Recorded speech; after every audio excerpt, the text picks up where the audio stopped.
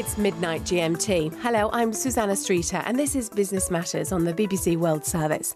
In America, the working day is winding down, but in Asia, it's the start of another day. We're connecting the time zones, and today we're live in Boston and Seoul. We find out more about the plight of hundreds, possibly thousands of migrants who are stranded on boats near Thailand. Governments are accused of playing human ping pong with desperate people. Hello and welcome to Newsday with Susannah Streeter and Alan Kasujja. Coming up, the UN backs French military intervention in Mali. The French government says the operation will last for as long as it takes to push back Islamist rebels. And Lance Armstrong remains in the news. But first, let's return to our top story now and how the escalating tensions surrounding possible military action against Syria have rattled stock markets around the world.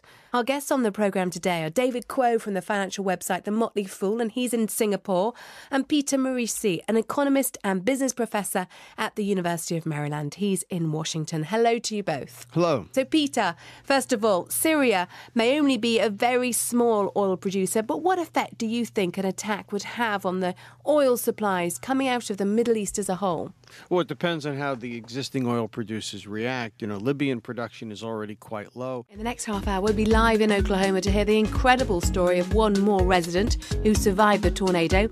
We'll also be in Kenya for reaction to the publication of the Truth and Justice report. Confirmation of the birth was announced to New Yorkers on big screens and news tickers in Times Square. And this is how the American television network ABC reported the event on its main evening news.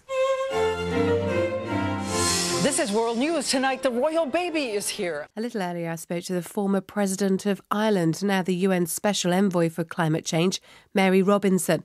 I put it to her that cyclones had hit Vanuatu before, so why was she so sure climate change was behind this severe weather pattern? Sadly, I think we are in a different world. Vanuatu is very vulnerable. It has had cyclones before, but this was a monster.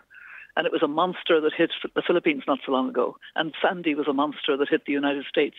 And unfortunately, this is the world we have brought about, if you like. You've already said that an effective response needs to be at a global level, but what does that mean in practice? This is the year when we can make that response. First of all, in Sendai itself at the World Conference on Disaster Risk Reduction. This is World Business Report. I'm Susannah Streeter. We're live in Bristol, England, the home of the BBC's Natural History Unit and Europe's Green Capital for 2015. It's a port city with a rich industrial history. Along the docks, huge cranes still tower over the water. They are relics of the past as the largest ships now stop a few miles away at Avonmouth. But much of Bristol's engineering heritage is still in use.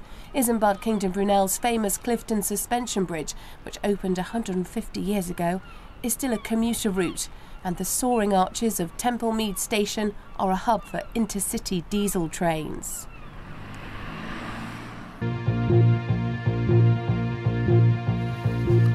We start with the main story from the newsroom. Police in Australia have confirmed that a gunman and two hostages were killed following a siege in a cafe in Sydney, where an Iranian born gunman had been holding a number of people captive. That's some of the headlines that the Chancellor announced today. Let's get back to Susannah Streeter. She's at the Trafford Centre in Greater Manchester. Susannah.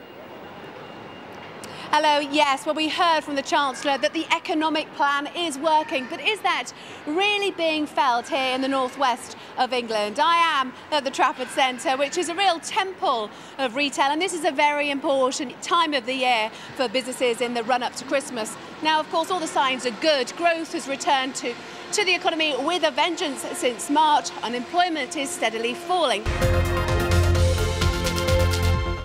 Welcome to World Business Report. I'm Susannah Streeter. Today, a potentially big change in the way Africa does business will be announced. Many industries have been frustrated with the difficulties of trading across the continent with tariffs and patchy infrastructure a barrier to commerce. You're watching Business Live. Our top story could a bubble be forming under the financial markets? That's the worry among some as indices around the world have reached record highs in the past few weeks. OK, Kevin, we've seen this before, before the dot com crash, for example, and the financial crisis of 2007. Why is this different, do you think? That's all from the Business Edition, but do stay with BBC World News.